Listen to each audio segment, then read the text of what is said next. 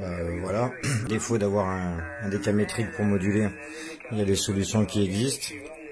Euh, moi j'ai pris la version professionnelle de, du logiciel Pocket euh, TXRX. Euh, bah, c'est cool, ça me fait un scanner portable, entre guillemets. Je peux même mettre ça dans le camion euh, en écoute pendant que je roule. Voilà, donc j'ai trouvé un scanner portatif déjà pour 5 euros, c'est déjà, déjà bien.